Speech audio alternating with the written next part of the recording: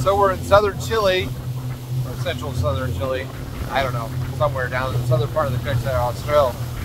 And uh, this is our current situation.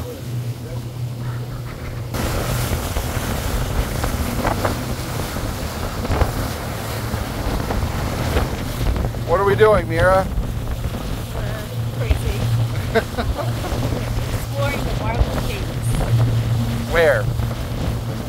That's where in Chile? I forgot to. So, yeah, we're going to see some marble caves in the middle of a lake, and it's raining and really cold, and uh, we're wet, and it should be beautiful. Stay tuned for more. Also, if you want to take pictures by this place, you're able to.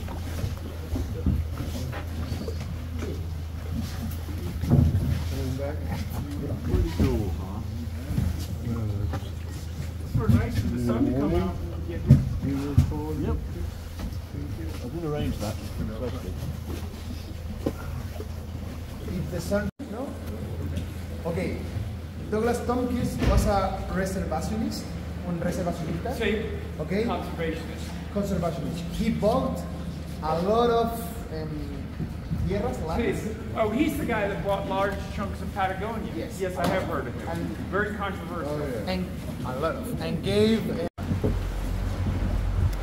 the global warming tutorial. Does-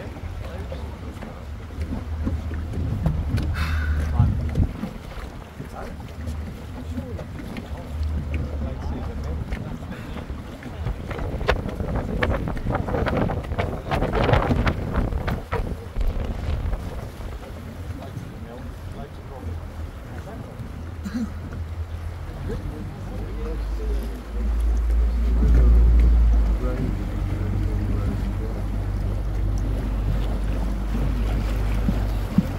the lake level fluctuate depending on the time of year? Yeah. Summer is uh, high.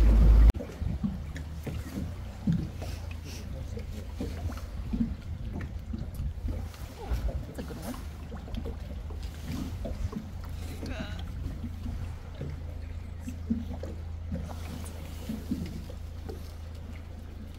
I think Globebusters should buy it on a little island and have a little cabin there.